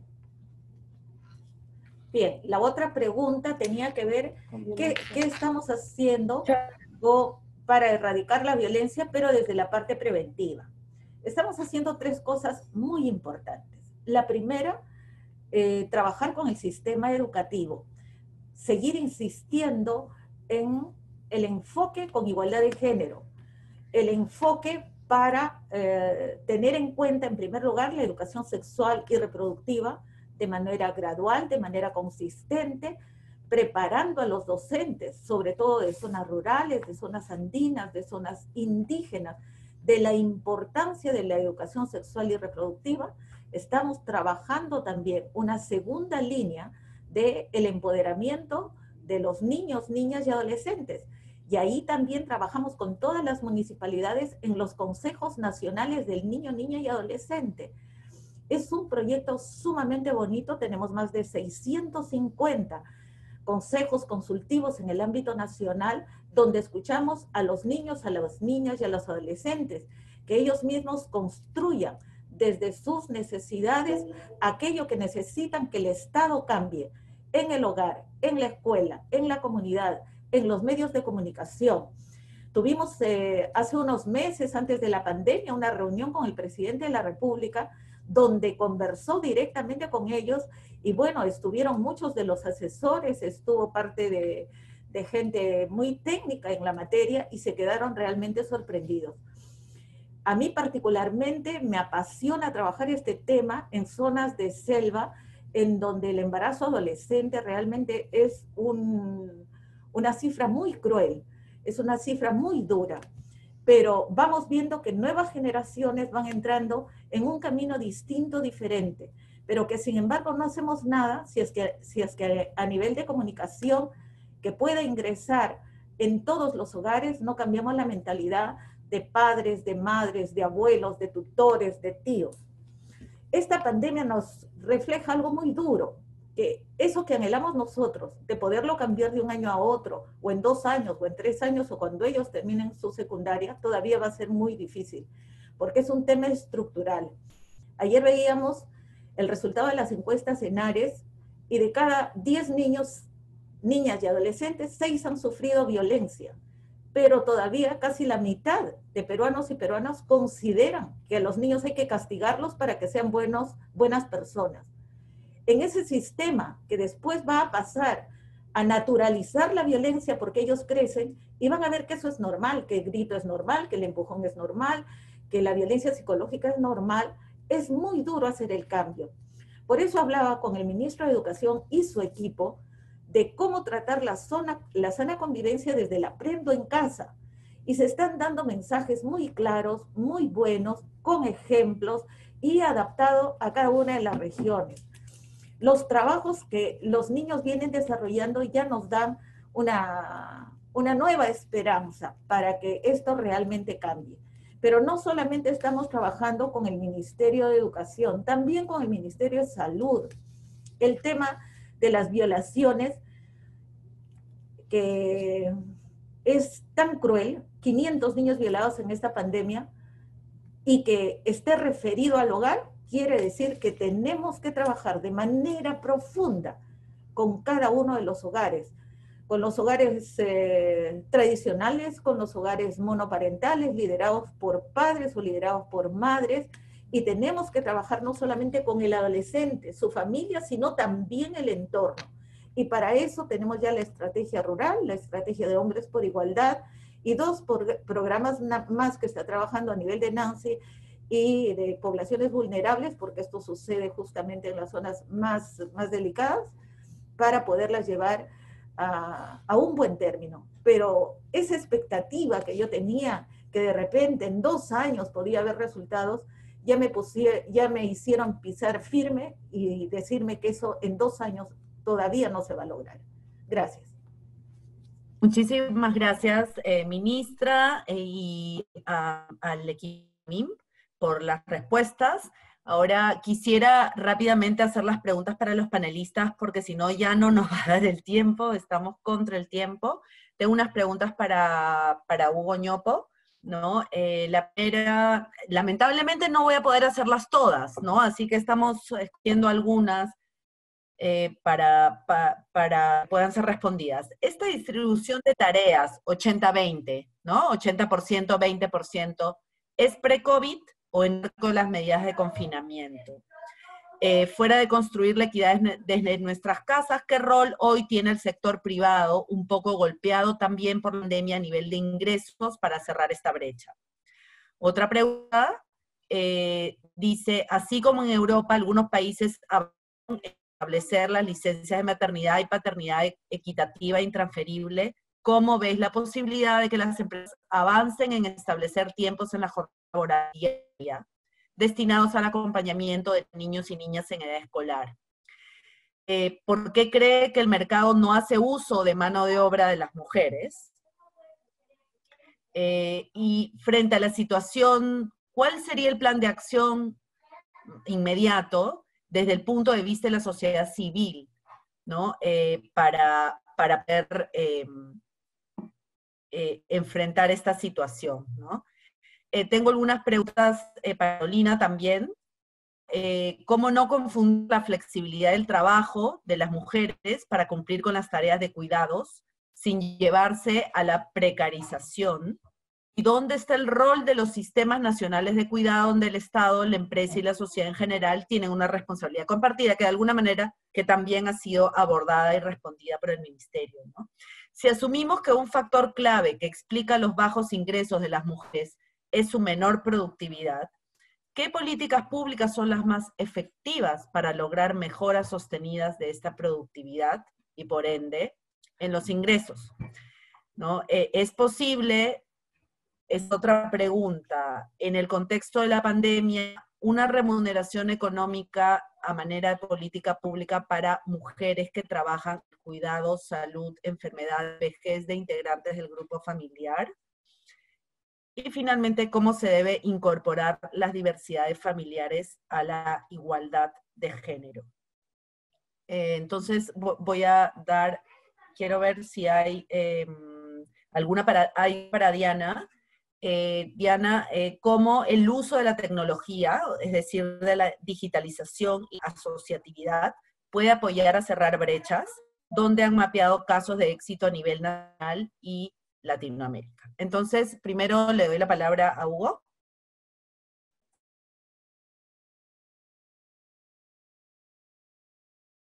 Tu audio está apagado ya. Gracias, muchas gracias. Voy a tratar de volar para, para estar bien con el tiempo. Primera, sobre la educación, en el primer grupo de preguntas. Mira, Claro, hoy tenemos más mujeres que hombres en los campos universitarios. Si uno se para en la puerta de entrada de la universidad, va a encontrar un poquito más de mujeres que de hombres. Pero si uno camina dentro de la universidad y va, digamos, a la facultad de ingeniería, va a encontrar mucho más hombres que mujeres. En contraste, si se va a la facultad de humanidades, psicología, pedagogía, va a encontrar mucho más mujeres que hombres. Todavía se da en una medida muy importante este fenómeno que llamamos segregación los hombres siguen determinadas carreras, las mujeres siguen unas carreras diferentes. Ahí hay que trabajar. ¿Y qué es lo que está detrás de esta segregación? ¿Por qué es que los hombres van a las carreras de ciencias e ingeniería, esas llamadas en inglés STEM, eh, en una mayoría y las mujeres no? Hay algo que trabajar con las matemáticas y las ciencias desde edades tempranas en los niños y niñas. Y aquí nuevamente hay labor para los hogares, porque pongámonos a pensar, ¿Cómo inducimos a los niños y niñas a jugar desde pequeños? ¿De qué color es el juego de física, de química? ¿De qué color es el microscopio? ¿De qué color es el telescopio? ¿Qué formas y colores inducen a jugar? Mientras que, ¿de qué colores y formas son los juegos que inducen a las personas hacia los juegos del cuidado? Del cuidar bebés o de cocinar o de preparar un té. Desde ahí se vienen... Eh, planteando de una manera bastante subconsciente qué actividades son de niños versus qué actividades son de niñas. Entonces hay un trabajo pendiente ahí cultural desde casa, desde temprano. Siguiente pregunta. El dato de 80, 20, 24 versus 6, ¿es pre-COVID? Sí, es pre-COVID. Es pre-COVID y es un poquito antiguo, viene de la ENUT que tiene un poco más de 10 años. Y si hay un, un puntito de reclamo que quisiera hacerle al aparato del Estado, al sector público, es ese. Señora ministra, necesitamos una nueva ENUT. No, no es correcto, no es justo que la ENUT que estemos usando hoy tenga 10 años de antigüedad. ENUT es la Encuesta Nacional de Uso del Tiempo. Necesitamos una nueva encuesta nacional de uso del tiempo para tener medidas más contemporáneas de lo que está pasando en nuestros hogares, que como trato de insistir, creo yo, ahí hay una fuente importante de inequidades en la que deberíamos trabajar. Paso a la siguiente pregunta, sector privado. ¿Qué puede hacer el sector privado? ¿Qué viene haciendo el sector privado? Aquí lo que hay es una tendencia global, no solamente en el Perú, sino en todas partes, donde ya hemos seguido diferentes etapas que son bien interesantes. Hasta hace pocos años se argumentaba muy fuertemente de que la equidad de género era entre comillas, buena para los negocios, traía mucho más eh, lucro para las empresas y entonces había un, en inglés, un business case para trabajar en la equidad de género. Hoy la literatura viene siendo un poco más cauta al respecto, porque no siempre necesariamente es buena para los negocios. Y está bien, porque las eh, equidades de género tienen que estar ahí por razones mucho más importantes que el lucro, razones morales. Tenemos que ser una sociedad equitativa porque eso es lo que importa. Las organizaciones no deberían estar ahí solamente buscando el lucro. Las organizaciones son conjuntos de personas que tienen que buscar fines superiores. Entonces el sector privado tiene una labor importantísima de ser caja de resonancia de aquellas equidades que queremos comenzar a construir, como digo, como insisto, desde los hogares. Y ahí paso a la pregunta esta de las licencias de maternidad, paternidad, para decir que muchas veces la legislación pese a estar muy bien intencionada, acaba agravando las diferencias. Y las licencias de maternidad son justamente uno de ellos. ¿no?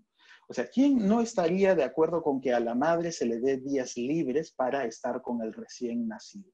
Claro, nadie estaría de acuerdo. Pero cuando esas licencias son de cierto número de días para las madres y de mucho menos días para los padres, lo que está haciendo es imponer un costo a la contratación de la mano de obra femenina sin querer queriendo, como se dice, ¿no? Sin darnos cuenta, sin haber mirado el equilibrio general de las cosas. Estamos imponiendo unas restricciones adicionales a la contratación de la mano de obra femenina. Hay que equiparar eso, hay que equiparar eso como vienen haciendo muchísimos países. Pero ahora, esa no es solución de todo, porque en esos países donde ya se han equiparado las licencias de maternidad y paternidad, la evidencia nos viene diciendo que todavía hay algo importante que trabajar nuevamente, y yo quiero insistir, nuevamente, de puertas hacia adentro. Aun cuando la madre y el padre del neonato puedan quedarse de licencia dentro de la casa, las actividades que realizan las madres versus las actividades que realizan los padres, las nuevas madres y los nuevos padres, son diferentes. Y entonces hay que construir una equidad que va más allá de las legislaciones, que ya es un cambio cultural, un cambio que tiene que partir de nosotros y, como digo, hacia nuestros seres queridos. Y habrán notado, insisto bastante en este, en este cambio cultural que se necesita. ¿no? Y aquí me voy a la última pregunta, que, que reclama por un plan de acción inmediato. Porque los seres humanos somos así, tenemos soluciones inmediatas. Y en este caso, estamos frente a un problema que es claramente cultural. Con la cultura pasan dos cosas, una buena y una mala. La buena es que la cultura puede cambiar, la, estamos viendo, estamos viendo que está cambiando y eso es una buena noticia. La noticia menos buena es que no cambia de la noche a la mañana, va a tomar mucho tiempo. El plan de acción inmediato tiene que ser esto, lo que estamos diciendo, pero sabiendo que los resultados no van a ser inmediatos. Lo acaba de decir la ministra también. Acaba de caer en la cuenta de que no va a conseguir resultados inmediatos. Porque, claro, la equidad de género es un asunto cultural que se va a conseguir en el mediano largo plazo, intergeneracionalmente, pero eso no significa que no tenemos que dejar de trabajar desde hoy, en la cotidianidad, como insisto, en nuestro día a día y en nuestra inmediatez. Es tarea de todos. Muchas gracias, eh, Hugo. Eh, Carolina, Gracias, Denise. A ver, eh, también tratando de hacer respuestas cortas y rápidas a, las, distintas preguntas. Uno, con el tema que mencionaba Hugo de políticas bien intencionadas que terminan dando malos resultados, hay, muchos ejemplos, ¿no? Y hay que tener mucho cuidado en, forzar situaciones, ¿no? Y quiero mencionar uno que a mí me, me llamó poderosamente la atención cuando se exigía, se exige que, por ejemplo, eh, entidades que tienen determinado número de su personal eh, siendo mujeres en edad fértil, tienen que tener un lactario, que es una muy buena idea. Sin embargo, eso lo que ha traído es que, eh, sobre todo entidades que tienen locales pequeños, limiten su contratación de mujeres en edad fértil para no sobrepasar el límite y entonces no tener que tener un lactario porque no tienen el espacio, no, tienen, no pueden destinar un espacio para ello. Entonces, es una muy buena medida en el, origen, pero que termina perjudicando la contratación de mujeres en determinadas actividades. ¿no? Entonces, e, es, quiero, quiero usar este ejemplo para mencionar lo complejo que es afinar estos cambios y que imponerle más exigencias a las empresas no necesariamente se traduce en mejores políticas. Sin embargo, el sector privado, las empresas formales, tienen un rol fundamental que cumplir en mejorar las condiciones de acceso a eh, oportunidades laborales y generadoras de ingresos para las mujeres. Por supuesto, teniendo mejores políticas de recursos humanos, la ministra mencionaba estas entrevistas a las que se presentan mujeres jóvenes y les preguntan si están comprometidas, si tienen novios, si se van a casar, si, tienen hijos, si quieren tener hijos, que a qué edad quieren tener hijos para ver si las contratan o no. Y estas preguntas no se le hacen a sus pares varones. ¿No? Entonces, las políticas de recursos humanos encierran de por sí un conjunto de eh, discriminaciones que hay que revertir y hay mucha experiencia internacional de cómo hacerlo para eh, mejorar el, esquema de contratación y las posibilidades de ascenso. Las políticas laborales al interior de las empresas tienen que lograr promover el ascenso de las mujeres, no solamente para mostrar diversidad y para dar oportunidad a sus colaboradoras más eficientes, sino porque hay que dar un mensaje con evidencia, hay que tener mujeres en posiciones de toma de decisiones, en posiciones gerenciales, en los directorios, para que más mujeres vean que esa posibilidad de hacer esa carrera existe. Y ahí quiero eh, enfatizar un tema eh, que muchas veces olvidamos. Necesitamos normalizar el éxito de las mujeres. ¿no? Todavía tenemos esta imagen de que las mujeres que logran llegar a un directorio, que logran llegar a una posición de poder, que logran ser electas, son súper mujeres, son súper trabajadoras, son espectaculares madres, son muy inteligentes cuando en realidad lo único que tenemos que eh, demostrar es que son mujeres normales que han logrado sobreponerse a estas restricciones y que hay espacio en los espacios de toma de decisión de mayor jerarquía para las mujeres. Y para eso es muy importante tener ejemplos, tener role models. Eso motiva a eh, las, las, personas, a las mujeres a entrar en esa carrera y ahí tenemos mucho que hacer. Y finalmente, para cerrar el tema con el sector privado, creo que hay un rol enorme para los consumidores. Hay, aunque ustedes no lo crean, algunos bancos en nuestro país que no tienen ninguna mujer en su directorio. Yo como consumidora no sería cliente nunca de un banco que tenga cero mujeres en su directorio, por principio. Y tenemos que informar y empoderar al consumidor a tomar decisiones también respecto a qué empresas premia y qué empresas no premia eh, respecto a sus políticas de género.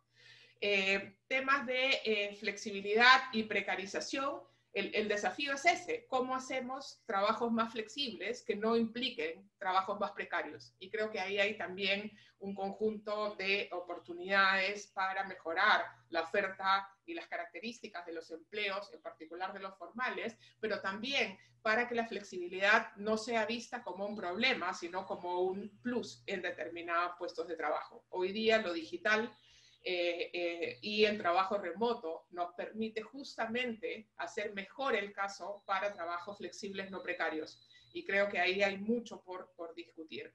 Incrementos de productividad son fundamentales y para eso, de nuevo, el mundo digital nos abre un sinnúmero de oportunidades de mejorar eh, esquemas de productividad, pero la productividad no está solamente en el agente, que genera el, trabajo, sino en la cantidad y en la calidad de los servicios a los que tiene acceso. Una, un emprendedor más productivo no es solamente que él o ella sea más productivo, sino que tenga acceso a los servicios adecuados con la calidad adecuada.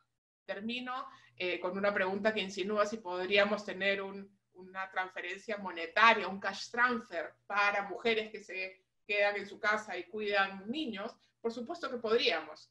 ¿No? Eh, eh, el tema es asegurar que ese cash transfer en ningún caso desincentive a las mujeres a generar su proceso de autonomía. Las eh, transferencias monetarias son un instrumento de política pública valioso, son efectivos en un conjunto de aspectos, pero deben ser vistos como un complemento y un soporte y no como un, un fin para generar ingresos para las mujeres necesitamos asegurarle a las mujeres un paquete mínimo de seguridad, de protección para que puedan desarrollar sus tareas. Necesitamos construir con las mujeres esquemas de resiliencia que les permitan enfrentar las diversas situaciones que enfrentan con herramientas eh, sólidas y, por supuesto, a generar una oferta de servicios que permita que las mujeres transiten en este camino hacia la eh, autonomía económica para poder eh, tener una sociedad más justa. Y solo por el hecho de ser justa, como dice Hugo. Eso sería un, un, tremendo logro que pusiéramos ese objetivo y no solamente objetivos económicos de eficiencia, sino simplemente de derecho. Muchas gracias. Muchas gracias, Carolina. Y ahora este, le doy la palabra a Diana un par de minutitos para después este, darle las palabras de cierre a la viceministra Tolentino, por favor, que ya estamos con el tiempo. Ya, sí, tranquila, no te preocupes porque tanto Hugo como Carolina han abordado de manera muy, muy completa eh, la, la, la, idea del rol del sector empresarial y antes de hablar de digitalización, solamente decir que sí, claro, esto estamos hablando de un imperativo moral, pero cuando esto pensamos en el largo aliento, no es suficiente para el sector privado, porque si, esto, si lo que haga el sector privado no está ligado a su negocio central, vamos a terminar con iniciativas filantrópicas de muy bajo alcance y el llamado que nosotros le estamos haciendo al PNUD es que, claro, hay que donar ventiladores, claro que hay que donar mascarillas, pero eso no es suficiente. Hay que capitalizar las oportunidades de mercado que ofrece el COVID y en función de eso poder generar nuevos modelos de negocio de triple impacto en los que garanticemos que haya inclusión de los más pequeños, modelos de negocios inclusivos, desarrollo de cadena de valor, y ahí conecto con la tecnología y estamos armando una alianza regional súper fuerte con unos jugadores tecnológicos de punta. Estamos trabajando con Accenture, estamos trabajando con eh, Amor Perfecto, con Farm IT US, con Coursera, con una gran cantidad de, de, de aliados de perfil global, pero también de perfil regional que nos están poniendo la tecnología gratuitamente para que el PNUD escale modelos y vamos a desarrollar un marketplace y vamos a desarrollar crowdfunding para traer recursos de la masa de donación, de crédito, de, vía equity para capitalizar las pymes, para capitalizar proyectos de impacto. Entonces, el avance de una agenda digital pasa porque también queremos promover la universalidad en la, en la interconexión del Internet.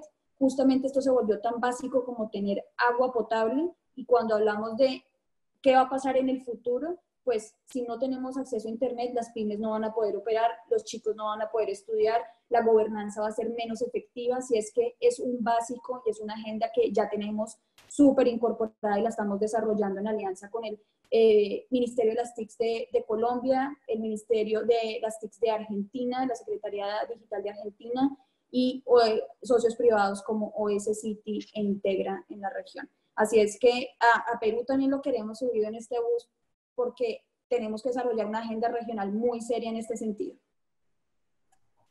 Muchísimas gracias, Diana. Este, le doy la palabra a la viceministra para el, para el de, de, de este primer webinar y también decirles que hay muchísimas preguntas, así que vamos a recoger todas las preguntas y si me permiten los panelistas se las vamos a enviar, ¿no? Eh, y las podemos eh, comentar en el Facebook, hay muchísima gente que también está preguntando y comentando para, que, para tratar de atender lo más que podamos eh, las, dudas de, de, los que están atendiendo. Muchas gracias.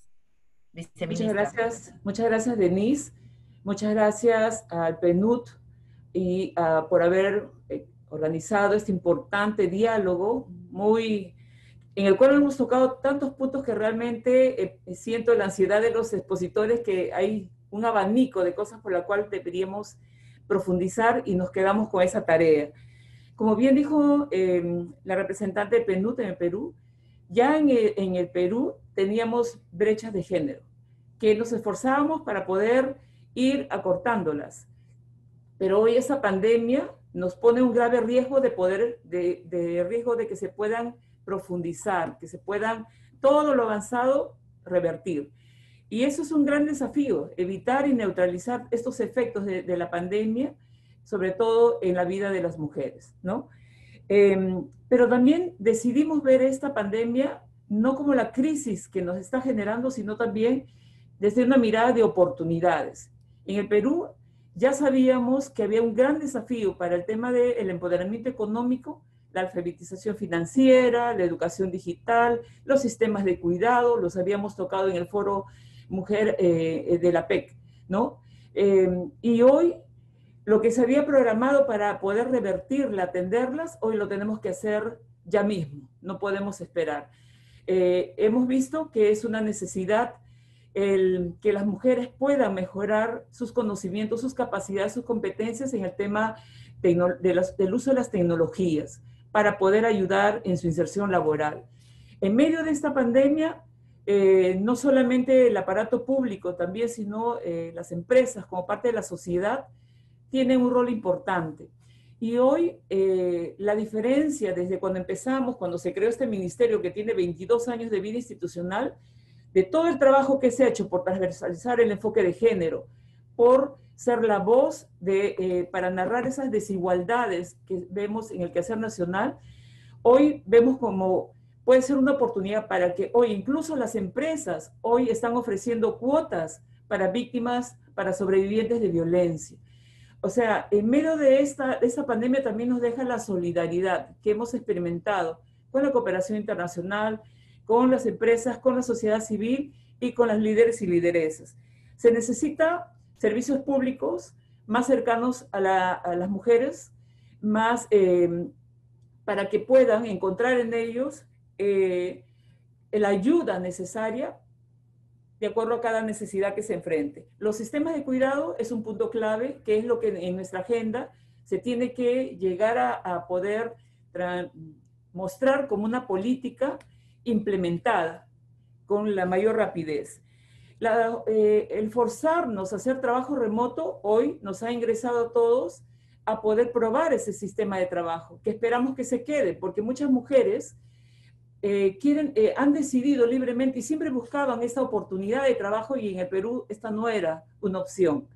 Hoy eh, ya se presentó y creo que se va a quedar, juntamente con también oportunidades de flexibilización del trabajo, ¿no? En el cual ahora estamos viendo horarios diferentes de ingreso, estamos viendo una flexibilización de toda la rigidez de los horarios que antes habían sido establecidos.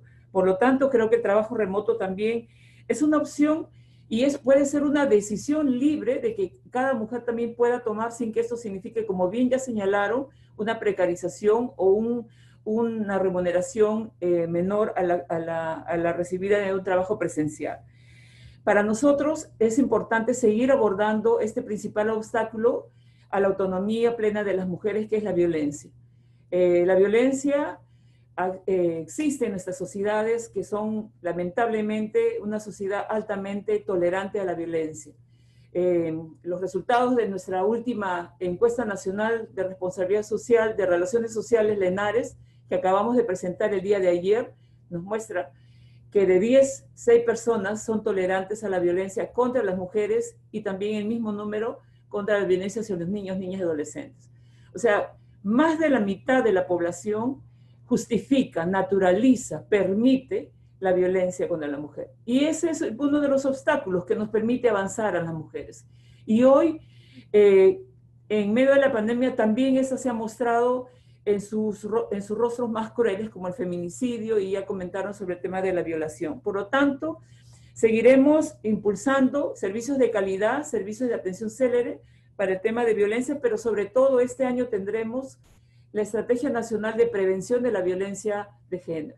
Y eso es una aspiración como sociedad para poder deconstruir los patrones socialmente arraigados en nosotros que todavía han naturalizado esta, esta grave vulneración a los derechos de la mujer, este crimen que aún eh, está presente al interior de nuestras familias y de nuestros hogares. Em, creemos que también el Perú está en un escenario interesante. Se acaba de aprobar la ley de paridad y alternancia. Entonces, el empoderamiento eh, social, la autonomía en el lado eh, político también nos da una oportunidad de que podamos generar los nuevos liderazgos. Eh, Carolina habló del tema de mentoring o que se necesita también mujeres que inspiren a otras. Y, creo que estamos en ese momento de poder, de parte nuestra nos hemos propuesto poder fortalecer en las jóvenes eh, esta, esta atracción por la participación política, para que puedan ser aquellas que, eh, conociendo nuestra agenda, puedan incorporarse en esta vida eh, política que también es adversa a las mujeres, porque el acoso político también se presenta como para decir a la mujer que está en esos escenarios, regresa a casa, que tu lugar es ahí en la casa, ¿no? Cumpliendo roles tradicionales, cumpliendo el cuidado eh, de los dependientes y también cumpliendo las, labores de toda la administración interna del hogar, que es que se resiste al cambio, ¿no? que, porque ocurre en las cuatro paredes de las familias, pero que más personas lo dicen, lo hablan, porque hay hoy más aliados que antes que podamos realmente esto, ser la voz de aquellas que todavía no tienen voz. Em, también queremos dar oportunidad a que las propias mujeres puedan decidir, puedan elegir. Si alguna mujer decide, eh, porque hoy no hay servicios de cuna guardería, porque hoy no hay oportunidades de dónde dejar a los niños pequeños para poder ellos desarrollar eh, sus competencias, eh, su trabajo, su especialización, podemos también usar esta oportunidad de calificación, de mejor calificación, de mejor, de mejor, de adquirir nuevas competencias. Creo que la oferta de cursos virtuales es hoy el momento para que podamos también tener todo un banco de oportunidades para que las mujeres, si es que no tienen otra opción que poder elegir estar en, en casa, que esta sea también para poder nutrirse y crecer, ¿no? Que no sea eh, algo que ellas puedan sentir como que estoy, ya no voy a tener oportunidad cuando salga, no estoy actualizada, todo lo contrario, queremos que también sea una oportunidad para que puedan estudiar concursos a distancia y tener becas también que se ofrecen tanto en el país como fuera del país. Eh, hay definitivamente el impacto del COVID es más fuerte en los grupos poblacionales que ya mencionó eh, la representante del PNUD, en los grupos de, las mujeres indígenas, de los pueblos originarios, de las mujeres afrodescendientes, de, los, de la población LGTBI, eh, que también la hemos considerado como grupos prioritarios y a los cuales eh, estamos trabajando de la mano de otras instituciones para poder apoyar a disminuir este impacto que, que este grupo está sintiendo, ¿no? Eh, finalmente, para, para respetar el tiempo, estamos apostando por una transformación sociocultural. Esto es como una revolución cultural y eso no se consigue de la noche a la mañana. lo bueno es que ahora hay muchas más voces, no hay pocas voces. Ahora hay muchas voces de las empresas, desde la academia, desde la cooperación internacional, desde diferentes espacios. O sea, hoy somos más que pensamos que esto debe continuar, no puede parar y no estamos dispuestas a volver atrás.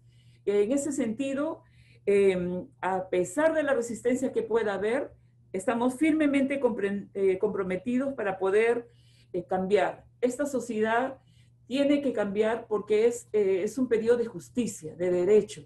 No estamos pidiendo otra cosa sino lo justo. Ya es hora, ya es tiempo de construir una sociedad de iguales entre hombres y mujeres, en lo cual la transversalización del enfoque de género para nosotros es clave. Por ello, seguimos trabajando firmemente con todos los sectores del Estado para que también hagan su parte, también con las empresas y también con todos los aliados estratégicos que, siguen sumándose a nuestra gran causa. Gracias al PNUD por su apoyo, por su acompañamiento, gracias a los expositores, a los académicos de quien necesitamos y gracias por seguir caminando este camino que lo estamos construyendo juntas y juntos. Muchas gracias. Muchísimas gracias, viceministra.